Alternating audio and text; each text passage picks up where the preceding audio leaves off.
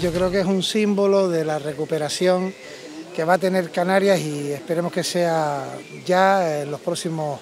las próximas semanas con la llegada de turistas y la apuesta por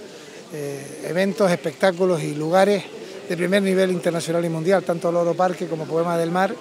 que los Kisling han querido abrir, eh, incluso adelantándose a la llegada de estos, de estos turistas. Y yo quiero reconocérselo en nombre del Gobierno de Canarias porque durante todos estos meses del confinamiento han, seguido manteniendo a sus animales, sus infraestructuras, con un coste de 2,5 millones al mes de euros, sin ningún tipo de ingreso, y lo han hecho para poder reabrir. Y creo que cuando hay empresarios que apuestan porque saben que vamos a salir de esta fortalecidos, hay que aplaudirlos por parte del Gobierno de Canarias y por tanto contento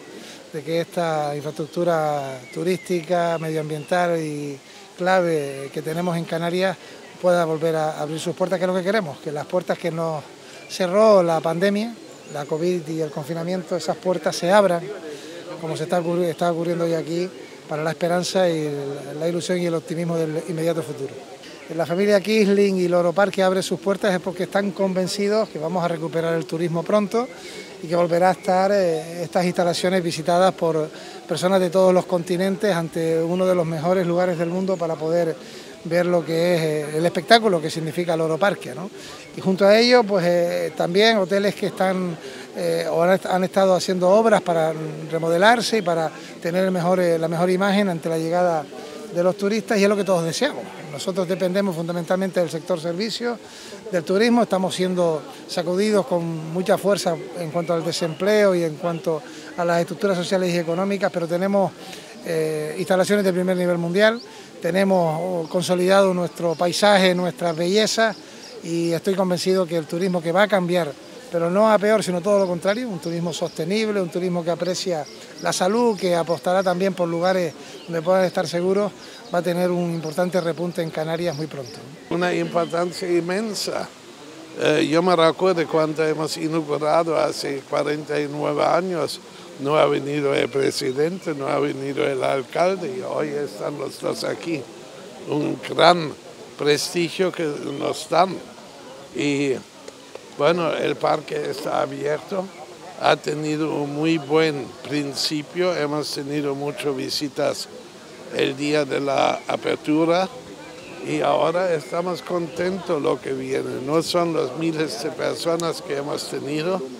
pero son personas que ven movimiento en el parque,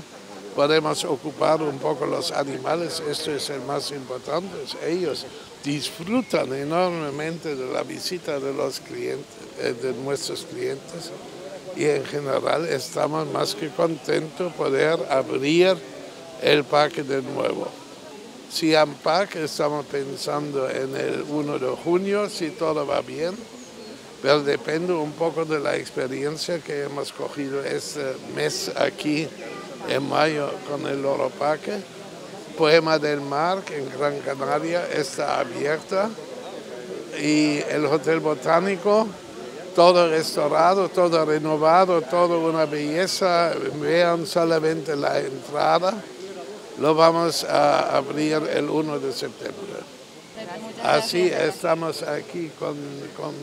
una enorme eh, intención y alegría y sobre todo esperanza